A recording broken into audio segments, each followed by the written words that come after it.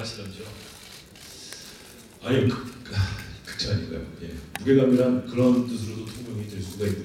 예. 아무튼 어, 저희 드라마는 간만에 에, 성인들이 볼 수 있는 아름다운 동화입니다. 그리고 어, 정통성이 있는 그런 멜로가 들어가 있는 드라마이고 따지고 보면 그렇기 때문에 약간 좀 무게 무거울 수 있는 드라마예요. 그래서 그런 그런 것을 다들 알고 있고 인지하고 있는 상태에서 자꾸 그렇게 무겁게 할 필요는 없잖아요.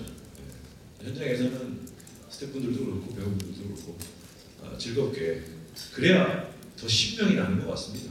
그 부분에 대해서는 예, 저도 그 신명을 불러 일으키는 예, 쪽에 가담을 하고 있고요. 어, 그것들이 분명히 모여지는 하나의 응축된 에너지로 첫 방송 갈 것 같습니다. 예. 자 이렇게 선배들의 이야기 쭉 들어봤는데요. 끝으로 손호준 씨도